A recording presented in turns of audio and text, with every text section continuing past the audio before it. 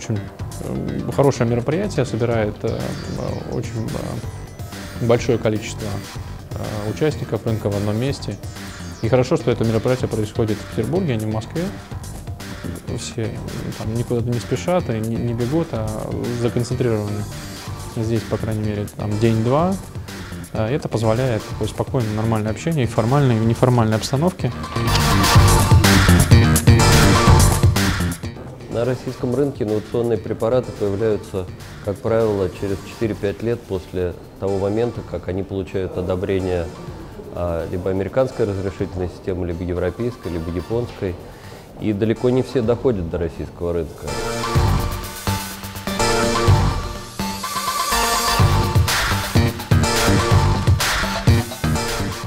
Nycomed has a little bit of a history already, although it is, uh, in my mind, you know, a lot, and I think a lot of people as well. But it's not, I think Takeda is there now. And I'm very, very satisfied how they have done it in Russia to basically promote, launch, introduce the Takeda brand.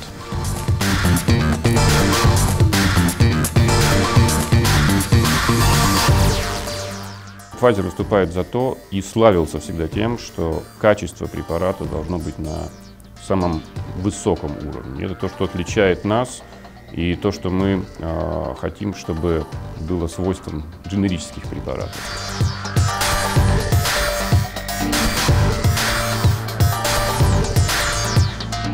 Проблема взаимозаменяемости а, стала ну, одной из ключевых таких новелл, тех изменений, которые вносятся в федеральный закон 61 и на самом деле это не случайно, а, потому что прежде всего а, большинство игроков рынка видят во введении этого понятия а, аспект экономический.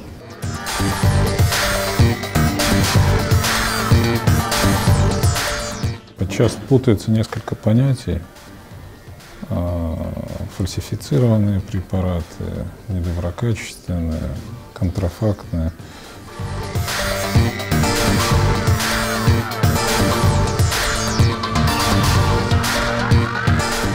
У нас э, вот эта процедура контроля за ценами, она выстроена таким образом, что аптечному звену выгоднее, ну и вообще дистрибуционной цепочке выгоднее продавать дорогостоящие лекарственные препараты. Если пациент будет знать в силу нормы закона, силу экспертизы, в силу значит, э, требований по качеству да, лекарственных препаратов, будет знать, что на рынке обращаются лекарственные препараты взаимозаменяемые с разной ценой, он будет искать наилучшую цену.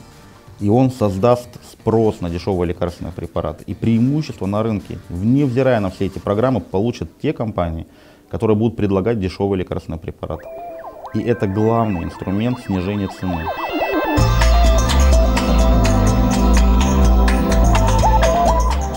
Федеральных округах мы конкурируем с, кру- э, с местными крепкими, крупными э, региональными сетями. Вот это наши конкуренты.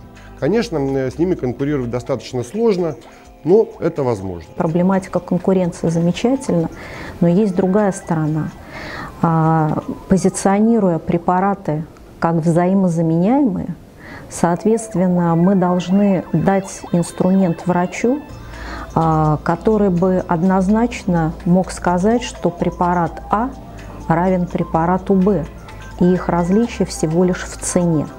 Вот это самое сложное, потому что наряду с экономической взаимозаменяемостью существует еще взаимозаменяемость терапевтическая.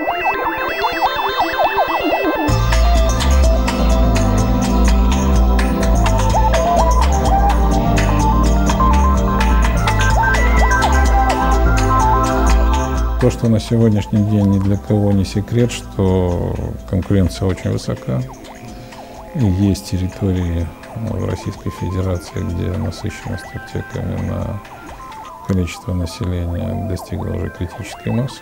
И поэтому, конечно, э, рентабельность многих аптек резко снижается.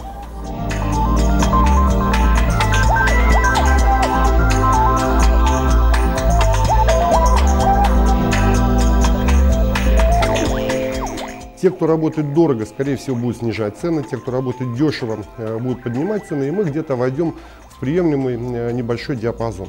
И будем бороться за клиента качеством услуг.